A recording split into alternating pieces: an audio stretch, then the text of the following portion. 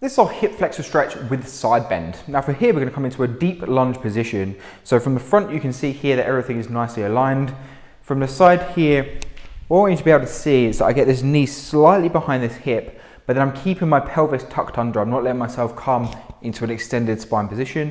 I'm keeping this pelvis tucked under by squeezing this bum cheek. You'll start to feel a stretch come onto the hip flexors here, which is great.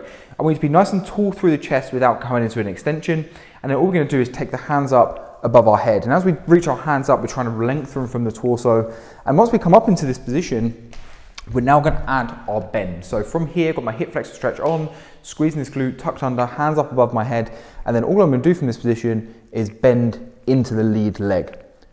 So as I'm stretching my right hip flexor, left leg forward, I'm now bending over to the left side. I'm going to feel this stretch come all the way up my hip flexor and a little bit into the lower abdomen as well. I'm to repeat the set amount of repetitions on this side before repeating on the second side. And these are hip flexor stretch with side bend.